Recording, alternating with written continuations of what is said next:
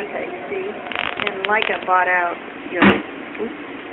so if you go online, you can learn about this if you want to know more about it. In this drawer, here's the manual, and you need to read this manual. And we're going to look at it today. So a Brasket, I told you the deep freeze, and if you look at this, this tells you that the CT is minus 29 degrees centigrade, and the OT is minus 25 degrees centigrade. And it's currently locked. And so this is the panel display that you want to be looking at. Well, so CT stands for chamber temperature. This, if you open it up, if you put your hands in here, put your hands in there, see how cold it is. Okay, so this is the chamber. But there's also an object. This regulates the temperature of the object. So you have the capacity to change this and this. And so where you put that is going to influence uh, how well your sections turn out. Now, uh, for instance, fat will melt at a higher, uh, at a high, how are we going to say this? Your fat is going to melt at a higher temperature than say something else. So you want to keep it really cold.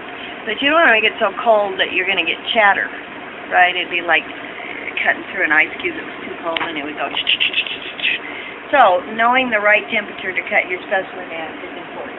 Same thing with you. Now it turned out that I think this is the temperature and this is where we keep notes in our notebook of what works. So we record all this data. It's like doing any kind of experiment. You come back next week and you found out that this temperature worked and somebody came and you did a different temperature than Bicola and you go, oh man, I don't know what I did. Then you got to rework it all out again. So make sure you record these things as you move along. So same thing as everything. I'll show you the notebooks later. We won't do that now. But there's a notebook where you will do your cutting and your sectioning. And you'll put, uh, this is the temperature I cut today, and we'll have a little chart, and you fill it out, and you move on, and you cut all your features.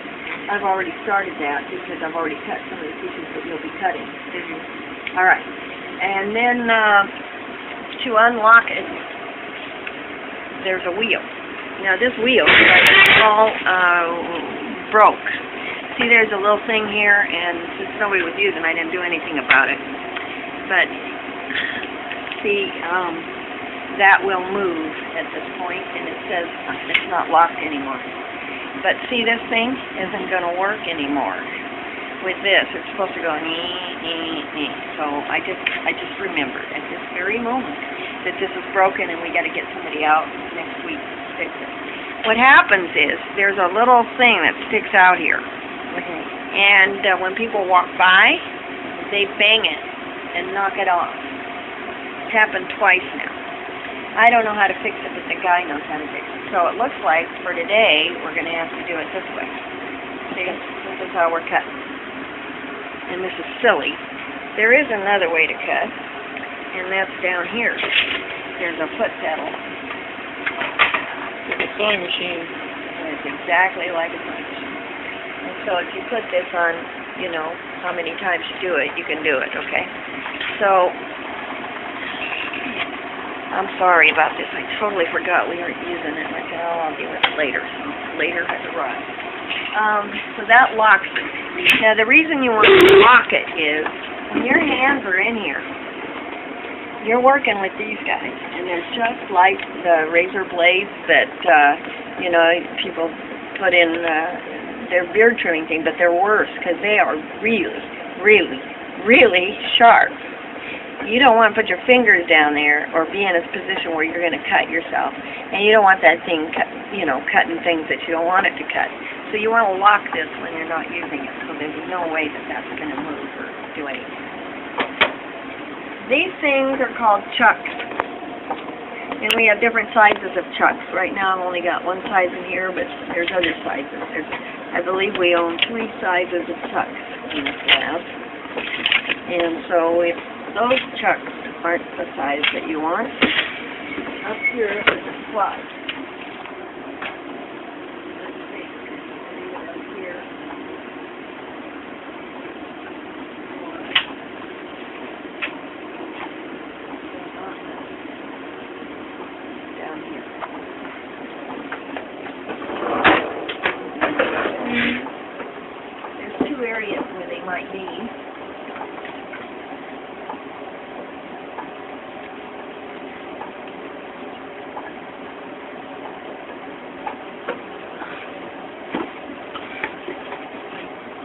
So this is going to be, unfortunately, I'm going to be telling you stuff that's a little out of order, but I don't know any other way to do it. I guess whatever order it comes out. So in here, there's two boxes, and this is a filter holder, and this is a filter. And we use these to uh, clean up the mess so that if there's any kind of stuff in there that might be contaminated, uh, particularly let's say it was human tissue, we want a way that we can collect this stuff and not get it into the environment. So we use this. So there's a vacuum, and this goes with the vacuum. So when you need to replace these, they're down here in this cupboard.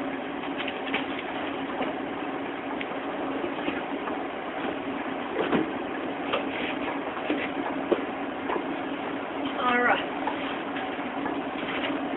Next. What else do we have here?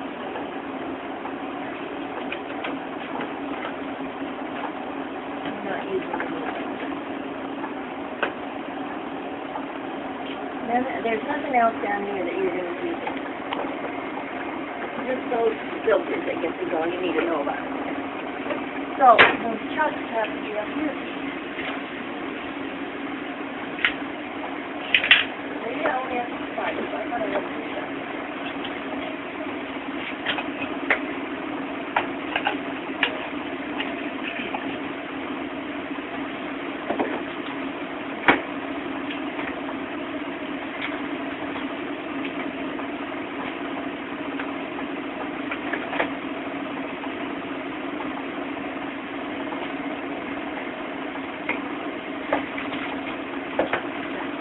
All right, well, we'll forget about that, then we only have two sides. Not all out there yet. What's the, the chemical? Now, the reason we have two sizes is, if your block is small, you put it on here, and if your block is big, you put it on there. That's why I thought I had an intermediate size. If I find it, I'll bring it up. But I thought I had six of three sizes, but I guess I have six of two sizes. Okay. Now, there's two types of oil. There's tissue block oil, and then there's uh, uh, machine oil. And you can't use machine oil on tissue, and you can't use tissue oil on machine. So I want you to be aware that there's two types of oil. Uh, to refill this little bottle, which we keep here, you use this bottle, Instrumedics. It's called um, for tissue block, not machine. And you just pour a little in here so that you always have some tissue block oil. Okay? As long as this oil is clear, it's good. And it is clear. This oil, on the other hand, is in this little bottle, and there's more of it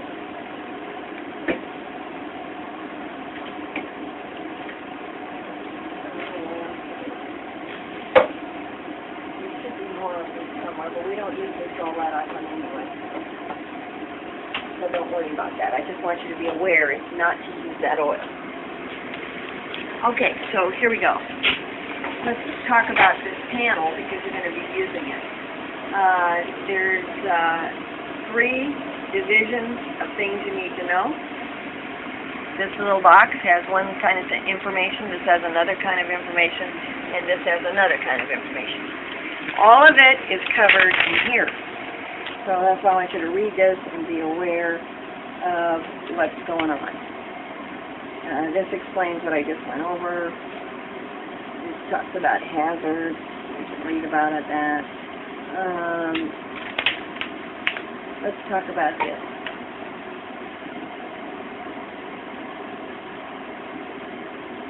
No, just put that in. No, you're not going to be removing it.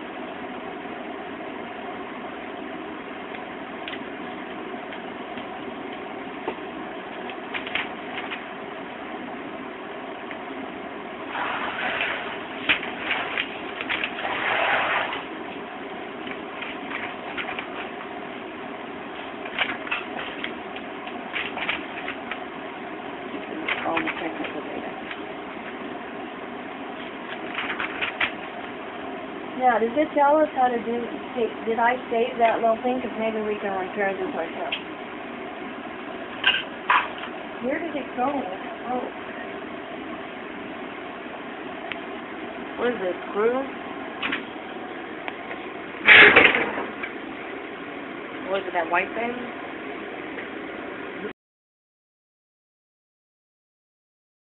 Here we go. Let's move on.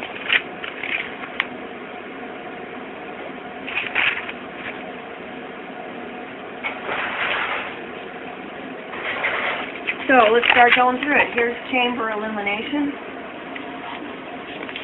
Light goes on.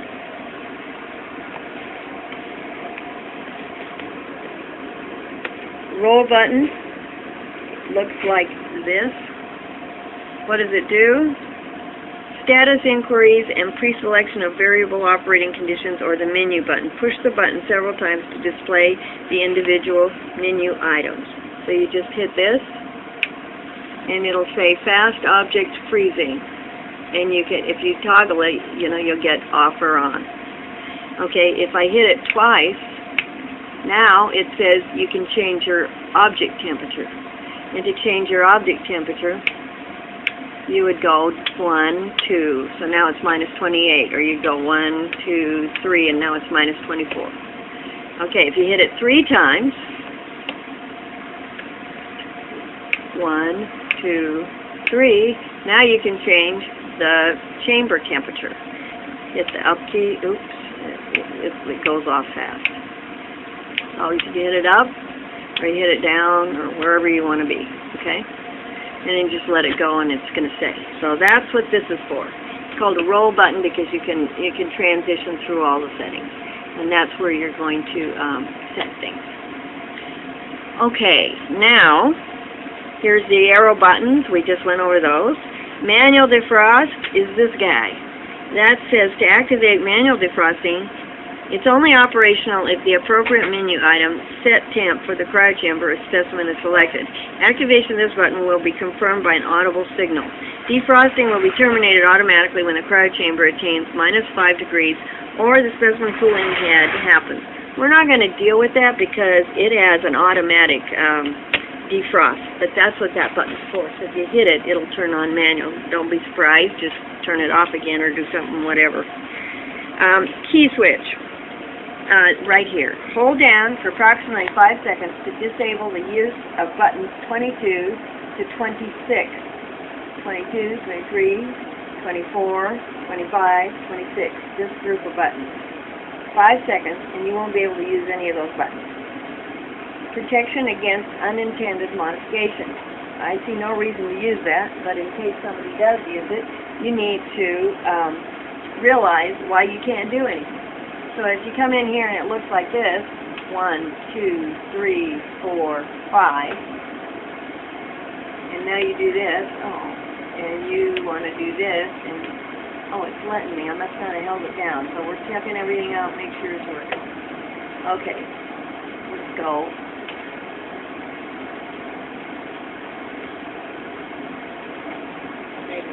Alright, the reason I'm showing you this is, when the power goes out, sometimes it looks like that, and you're going to come in here and say, well, I don't know what to do, and it's happened to me a couple times, and I always forget what I need to do. To enable it, just hit this. Now you can use it again. All right? All of this is in the manual. So now we know these keys and this key.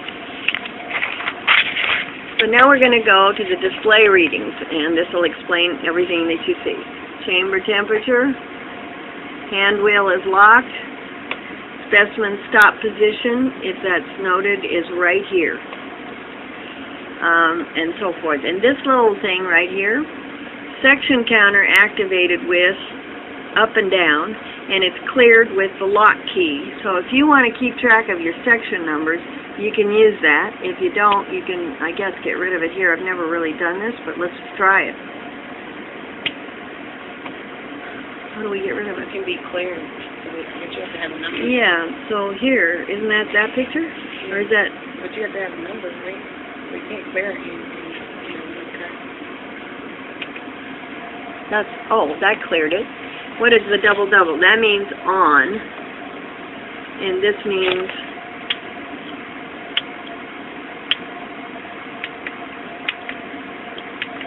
Uh, okay, so I don't it says that. Anyway, I don't use that, but that's what that means. If you want to use this, if you want to use that thing, I guess to turn it on,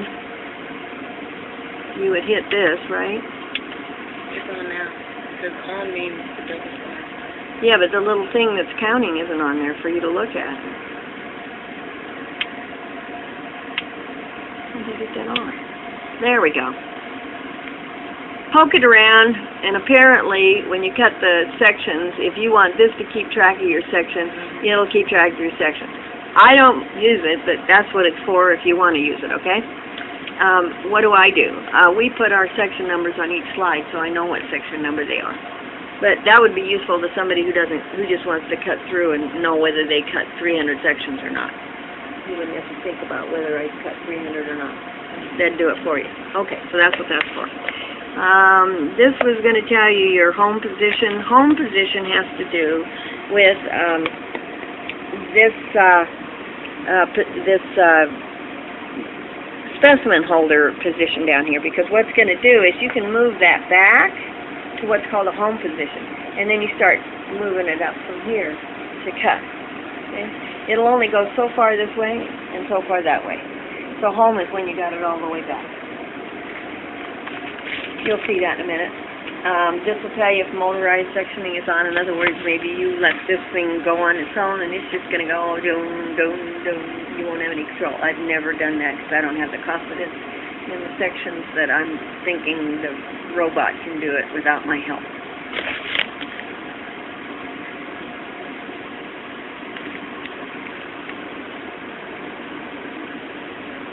Okay, um, think we're done with that. Now we're going to start with Module A, Module B, Module C. Over here. So Module A consists of the two control buttons to start and stop motorized sectioning and the corresponding LED. Okay, so what this means is, if you select this one,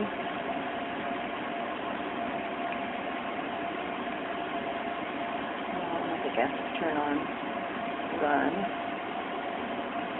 Now, see that's selected, so this has to be in the run position. And if I select this, what's going to happen is,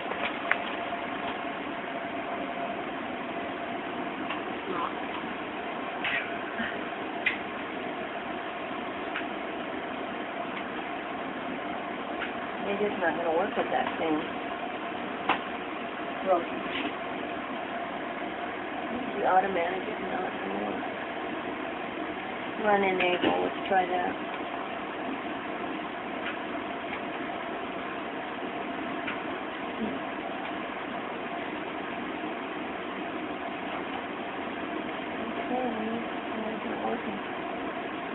So if it were working, what would happen is, it would go down and cut, come back up, and keep cutting. We just keep cutting like that. On the other hand, if you pick this one, which is one we use more often, it goes down and cuts and comes back up and cuts. It'll cut, I think, twice or something like that. This one is the one we use most often because it goes down, comes up, and waits. Goes down, comes up, and waits. And then you have more control over it. That's what that's all about. And this one gives you an idea of how fast it's going to do that. So if it's going, if you want it to go slow, you put it down here and it'll go. Mm. If you put it up here, it's going to go no, no, no, no. Okay, so that's the control button for that. So that's motorized. Module B includes the controls and indications for the electric coarse feed, the trim function for specimen trimming, and the pre-selector buttons for the trim steps, and an indication for the selected trimming thickness. So what you use this for is, let's say you put your block on for the first time, and you- you're going to have to cut through that excess OCT that you use to cover the specimen. So you're going to have to cut through all that in order to get to where you want to start. this makes things go faster because you can trim and you can say, I'm going to cut 50 micrometer sections at a time and, and you're just going to go. What these buttons do is, if it will work now, this should take you, this uh, thing, all the way back to the home position. You see it moving? It's right there. Why isn't it going? Nothing. Did I stop something here?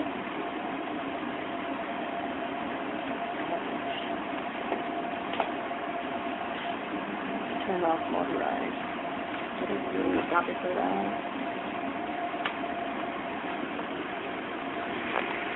Not having good luck with this?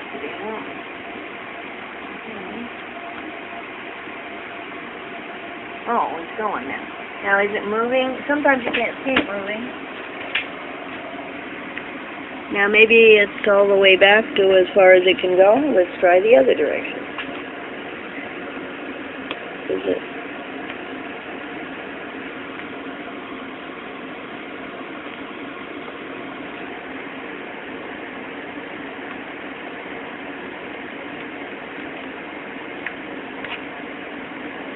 This should be working better than it is. Um, looks like I need a service call.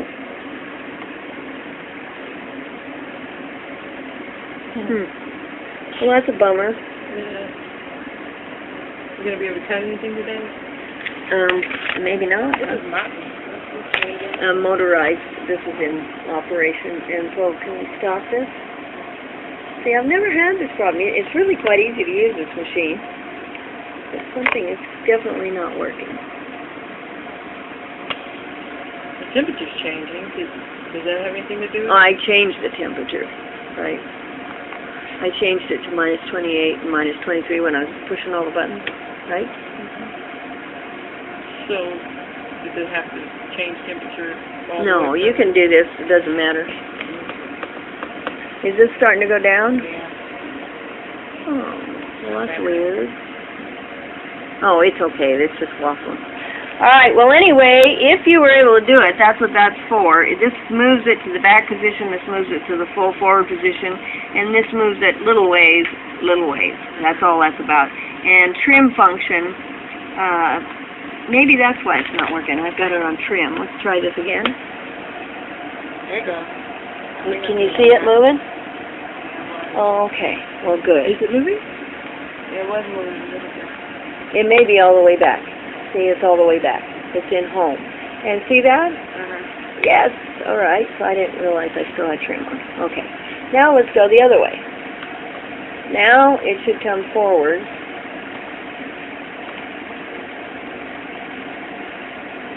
Unless it's not all, it should be home.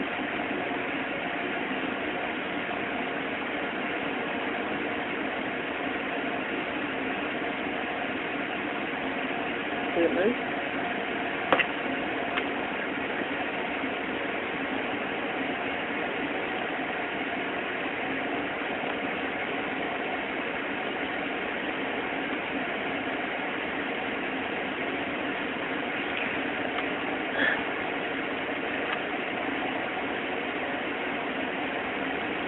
talking and responding a little bit.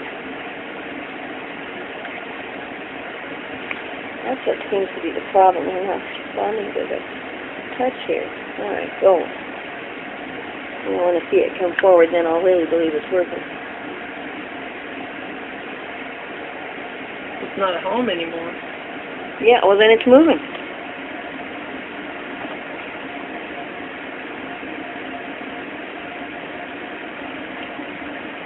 The way you can tell is the distance between here and here should change to your eye. I haven't seen it moving, but based on this, it says not, it's moving. doesn't say it's home anymore. But this light's not on, which bothers me. I can hear something though. Do it again.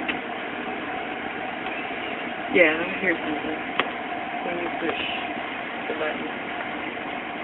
Well, maybe it is moving very slowly.